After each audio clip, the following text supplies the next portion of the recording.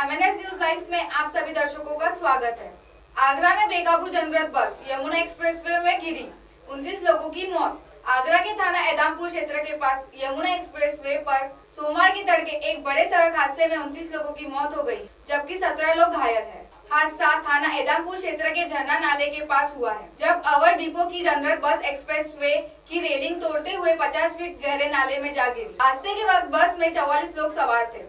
अभी तक 29 लोगों का शव निकाला जा चुका है और बचाव अभियान अभी रोक दिया गया है। हालाँकि गोताखोर अभी भी नाले में लोगों की तलाश के लिए जुटे हैं। अभी तक हादसे की वजह का पता नहीं चल सका है। बता दें कि बस लखनऊ से गाजियाबाद जा रही थी। मौके पर डीएम और एसएसपी के साथ तमाम आला ऑफिसर भी मौजूद है। एसएसपी बबलू कुमार ने बताया कि लखनऊ से दिल्ली की तरफ़ जा रही बस यमुना एक्सप्रेसवे की रेलिंग से तोड़ते हुए नाले में जा गिरी।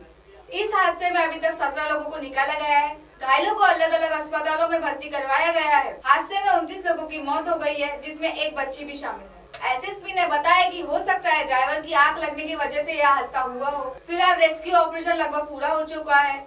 लोगों के सामानों से मृतकों की शिनाख्त करने की कोशिश की जा रही है। आगरा के जिला अधिकारी एनजी रवि कुमार ने बताया कि इस हादसे में राहत बचाव पूरा हो चुका है। उन्होंने बताया कि नाले में पानी होने की वजह से मौतों का आंकड़ा ज़्यादा है। मुख्यमंत्री योगी आदित्यनाथ ने मृतकों के परिजन को पाँच पाँच लाख रूपए मुआवजा देने का ऐलान किया है। साथ ही इस भीषण सड़क हादसे का संज्ञान लेते हुए मुख्यमंत्री योगी आदित्यनाथ ने भी अधिकारियों राहत बचाव कार्य में तेज़ी लेने का निर्देश दिया है। उन्होंने कहा कि घायलों को समुचित इलाज कराया जाए।